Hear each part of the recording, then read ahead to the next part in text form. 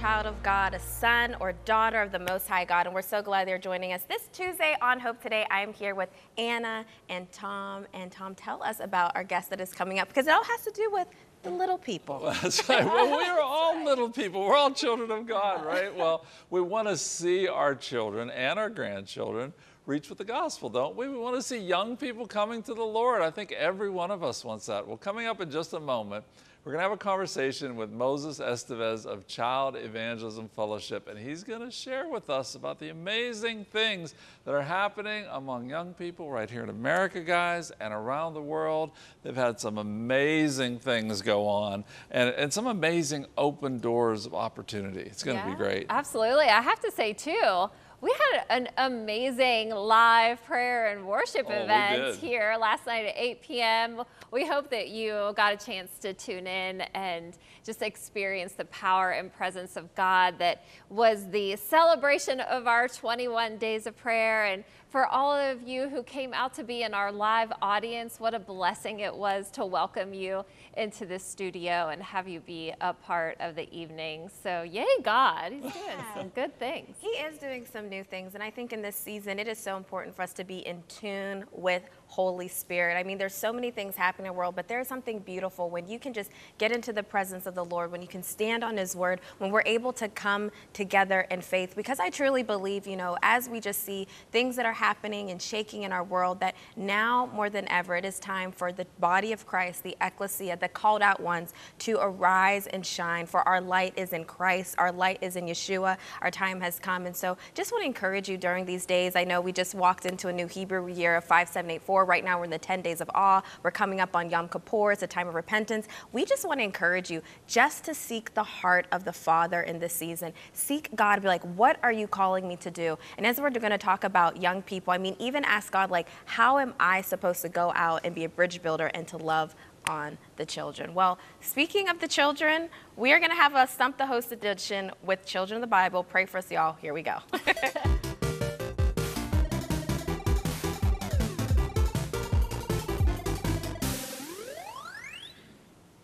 Okie dokie, here's our first question. Who is the first child mentioned in the Bible?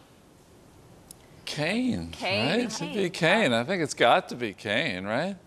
We're going to go with Cain. Yes. That's our final answer. Cain. All right. yeah. Isn't it interesting what up with Cain ended up doing? Uh, Yeah. You know, the very first uh, person born. Wow. Uh, not, not exactly a great start for the human race there. But uh, all right, here we go. Now, we haven't seen these, so uh, you can play along with us. When Samuel was called by the Lord as a child, who did he think was calling?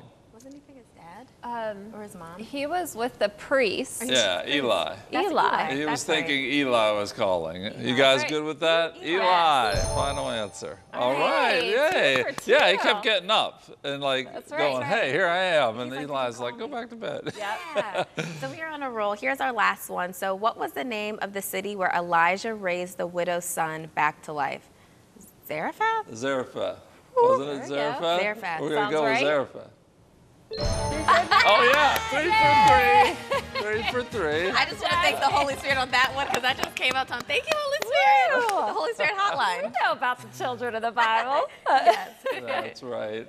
Well, hey, uh, that was that was fun. But you know what? To reach hundred million children with the gospel, that is the goal of our next guest, Moses Esteves, who's the executive vice president for Child Evangelism Fellowship. CEF has made it their highest priority to present the gospel this, so the children around the world may be saved and discipled in God's word. I don't know what could be better. Moses, it's so good to have you with us on Hope today. Thank you for having me. It's good to be here. Well, let me ask you about the vision. Maybe some of our audience is not familiar with CEF, Child Evangelism Fellowship. Uh, tell us a little bit about what is the vision of your organization? Well, it, ministry started in the early 20s. Mr. Jesse Overholtzer, um, it's a, an amazing story. God touched his heart. He had a passion to bring the gospel to children. And the ministry actually got organized in 1937. And uh, by the time he died in about uh, 1955, Uh, he already uh, had the ministry started in 60 countries with a great passion, a great, a great fervor for God to bring the gospel to children around the world. Today, we have the work of CEF organized in 400 offices in the USA. And in most of the nations of the world, we have about 3,700 staff. And just like our founder, they're very passionate about teaching God's word to children. The Lord so commanded in the scriptures, and we're very serious about helping the body of Christ bring the gospel to the next generation. Yeah, I, I mean, I just to hear some of the, the, the things that you're doing, it, it, amazes me. In fact, uh, just I want to read it, and make sure I get it right. Uh, approximately 26 and a half million children are being reached by CEF just this year. So before COVID 2019, we reached 25.5, 25 and a half million children. Of course, because we're a face to face ministry, you can imagine that COVID slowed things down quite a bit as it really shut down the ministry uh, for long periods of time in certain countries.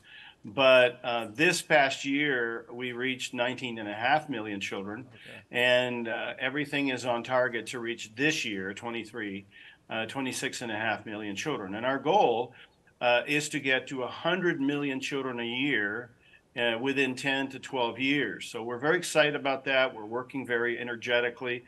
Uh, we're all set up to do that. We have staff all over the world. We have the programs in place.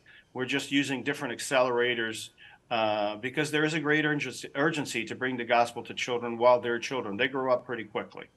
Right, exactly. What a what a, a worthy thing to reach them uh, at the at the age before they they've gotten into some some of the things of the world. But let me let me just ask you, how do you do this? What is what is your strategy? What is your training? How do you get your people? How is this accomplished?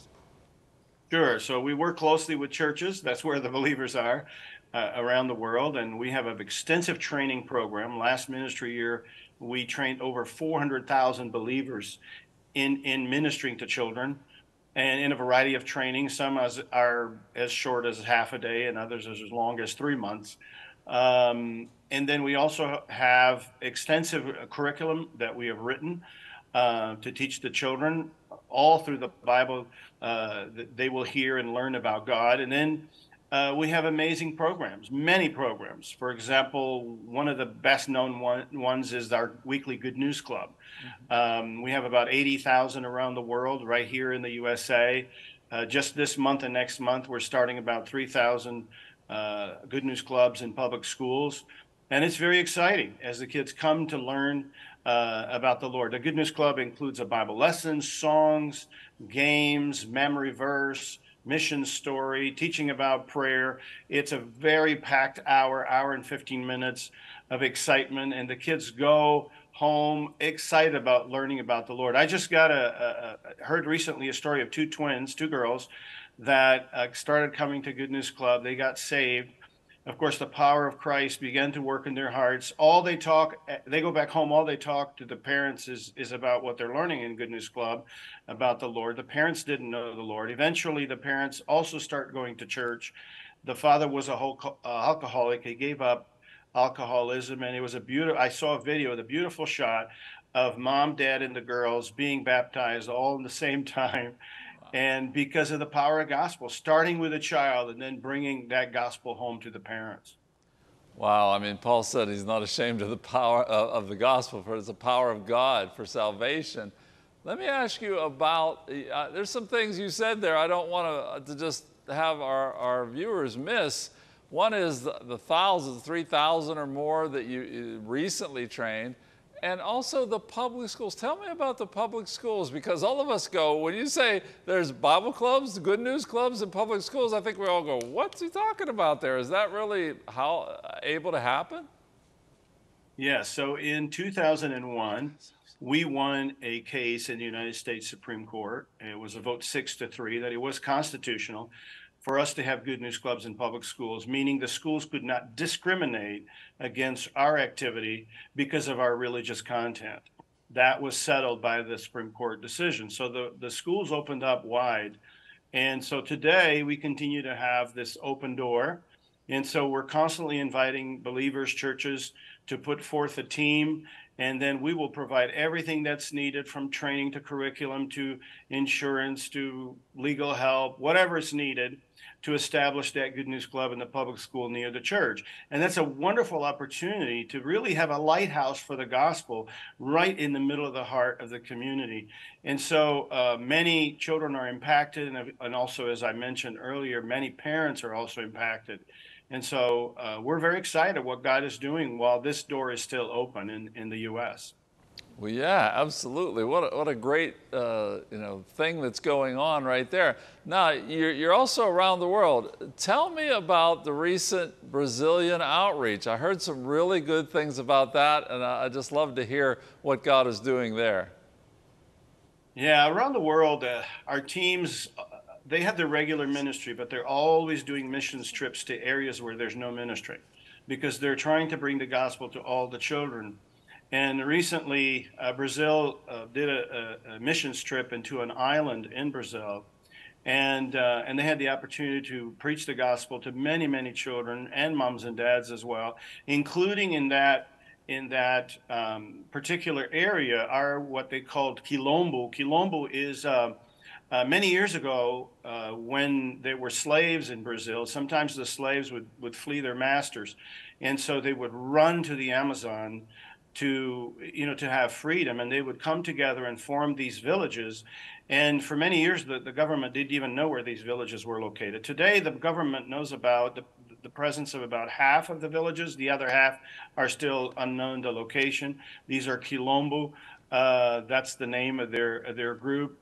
And uh, what a blessing to bring the gospel to them, to tell the children of, of, the love of God and, and the forgiveness found in Christ. And so it was a great mission trip. And of course, uh, they continue to do them in many other locations as well. Moses, can you tell us a little bit about where your passion comes from for children and why you have decided to devote your career and your life to investing in teaching children the gospel?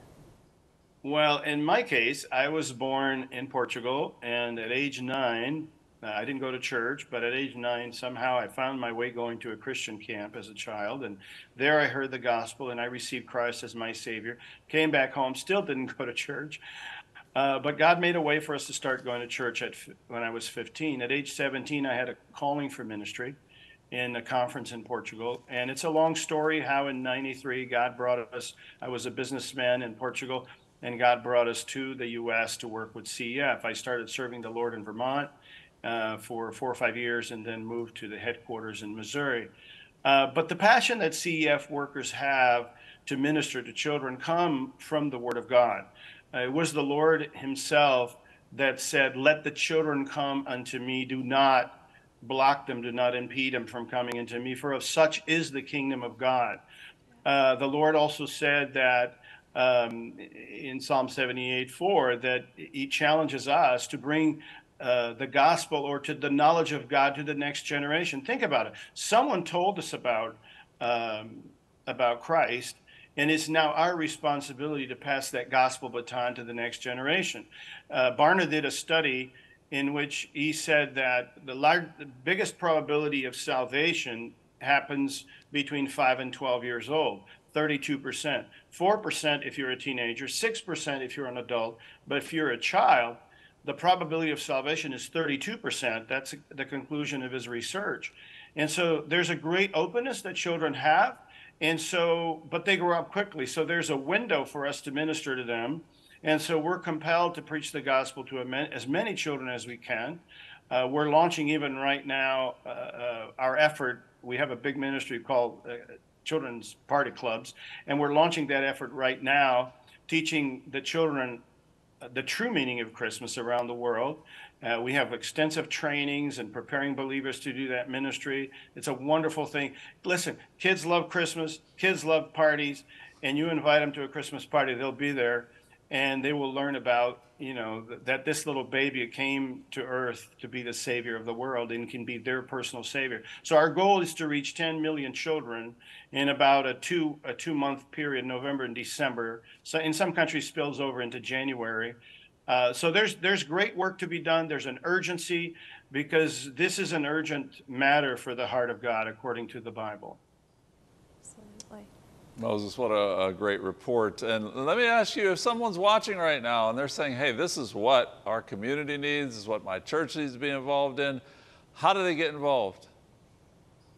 Uh, they can go to our website is cefonline.com, so cefonline.com, and there they can find what we call a chapter finder. They put in their zip code, and they will uh, find the closest CF office to them. They can contact that local CF office, and if they want to visit a club or if they want to uh, figure out what it's going to take to put a club in my public school, uh, the, the local worker will help them to do that. So it, it's a great opportunity. As I said, the doors are open. Mm-hmm. That's fantastic. And we'll have a link to that as well on our website.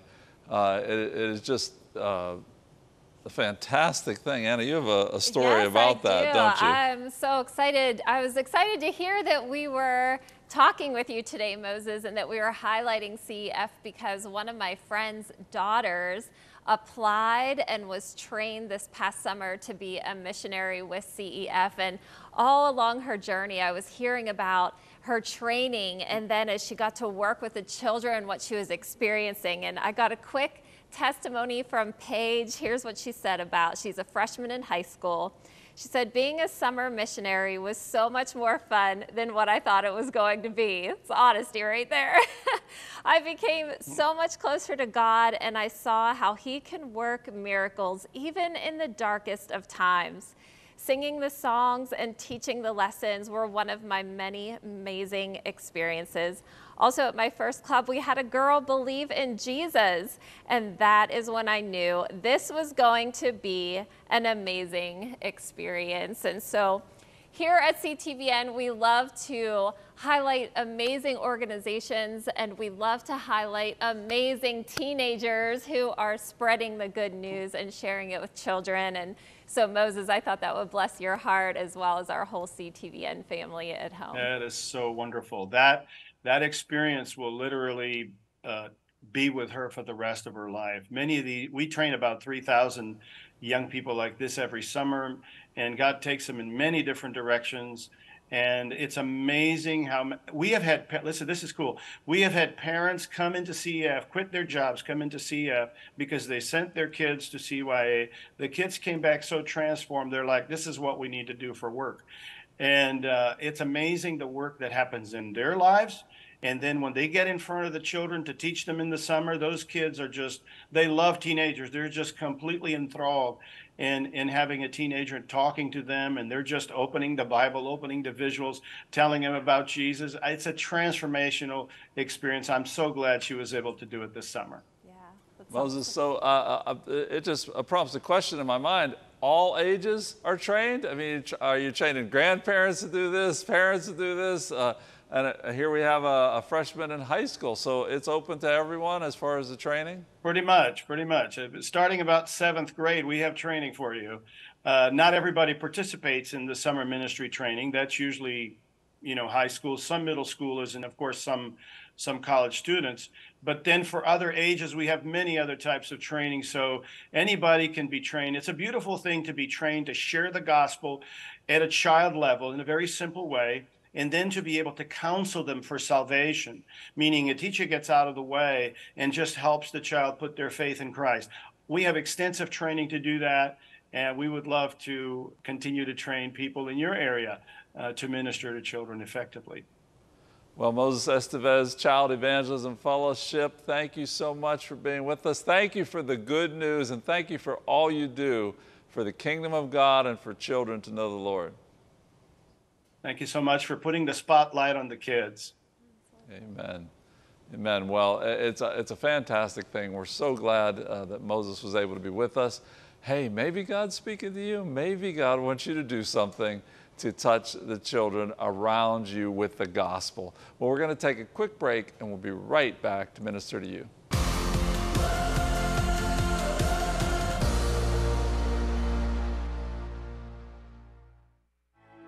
Now and then, life gets the best of us, and we need a reminder to keep calm and trust God. Simple but striking, the Keep Calm and Trust God box of blessings provides messages of reassurance to help carry you through tough and challenging times. These small cards fit into the palm of your hand and will turn your focus to the one who is in control of everything. Inside, you'll find 51 colorful double sided cards featuring a combination of inspirational scripture verses and faith based quotes. Add it to a get well basket or use it to encourage a teacher, family member, or friend, or save it for the times you need encouragement.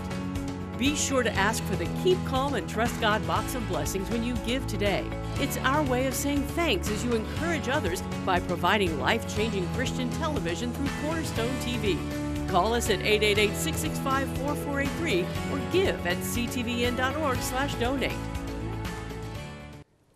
Well, welcome back to Hope Today. We're so glad you're hanging out with us. And we just wanted to tell you about our newsletter, especially for those of you in Jacksonville who are a new part of our CTVN family. So every month, we have the Hope Today newsletter that is completely free and it is packed with inspirational articles. It also has our full program guide uh, as well as recipes and testimonies and all kinds of good things. So you can call us here at 888 665 4483 or if you get any of our mail yet at all, you'll see a place on there where you can also subscribe. You can also go on our website at ctvn.org, and we would love to send our Hope Today newsletter. And there's out some there's some good articles in there, right? Yes. Re- uh, I don't know who writes them, but that- actually, I write a few of them. Pastor Gary writes you. Anna, she writes things in there. She's you're the editor of that. That's right. We're a team effort. I don't here, write this, the recipes. I don't do the cooking No, recipes, no, but you will true. enjoy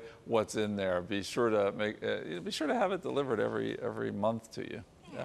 We love to stay connected with you. And another way we'd love for you to connect with us is that if you're new to our family, especially from Jacksonville, or you just started watching, or you don't even know about this, we do have a YouTube. If you go to Cornerstone Television Network, we actually have a whole YouTube. So if you miss any Hope Today episodes or anything, you can always check out our YouTube channel. And we also recently, if you've been watching for a while, you saw recently that uh, the hosts, we all shared our stories. So we have a playlist that you can check it out and hear our stories and our journeys that we hope that will inspire and encourage you. Well, and speaking of stories, I don't know if any of you have heard about this, but I saw this over on the weekend of like the move of God that actually happened at Auburn University. I was seeing that there was 200 students. There was like a move of God and got baptized right in the lake right there. So as we've been talking about children, as we've been talking about young people, I just want to encourage you if you're a parent or a grandparent or just anyone, God is moving.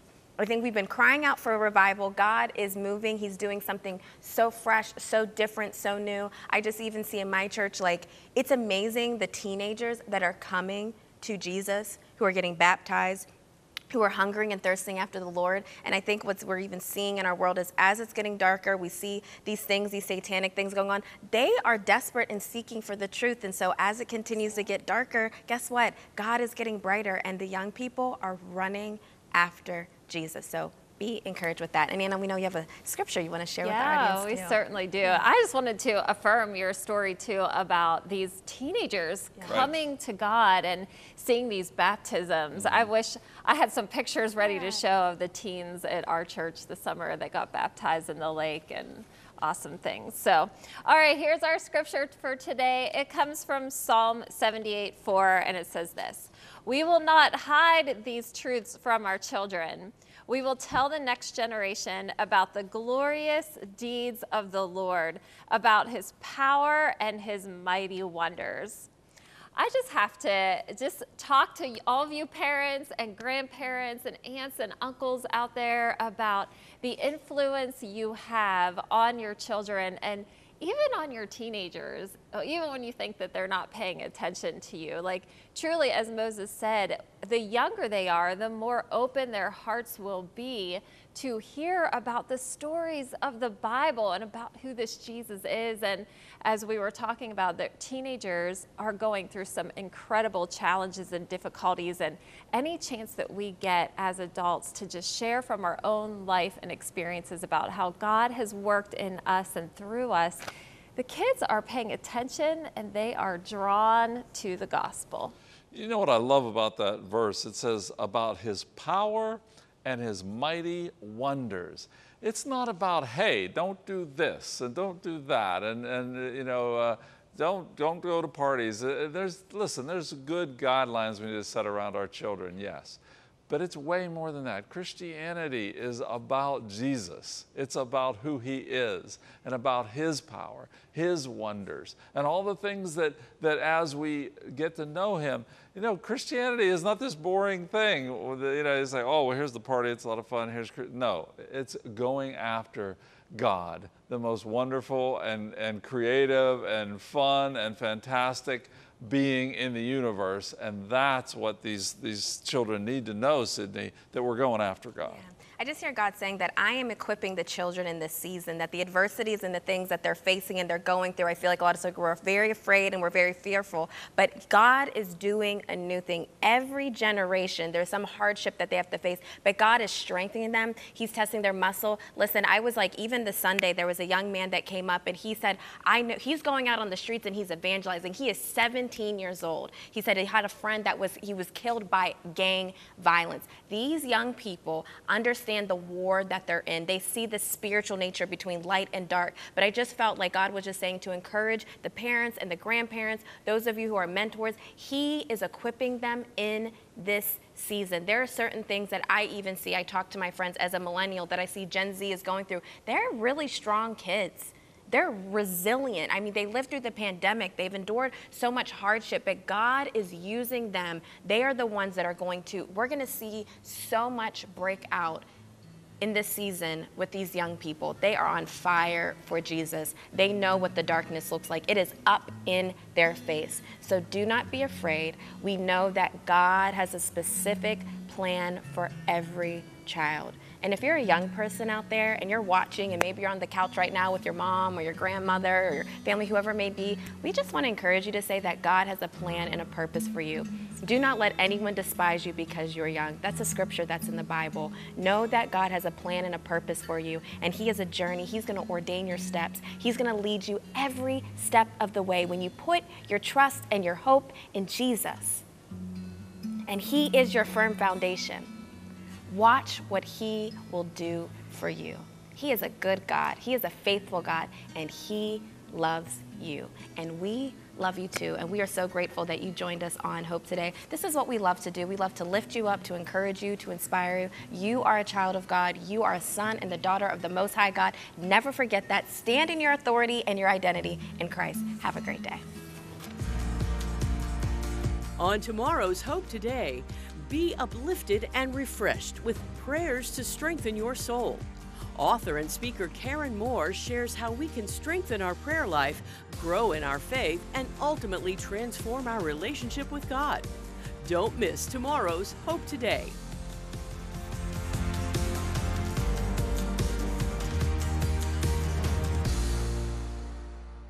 Cornerstone Television wishes to thank all our faithful viewers whose consistent prayers and financial support have made this program possible.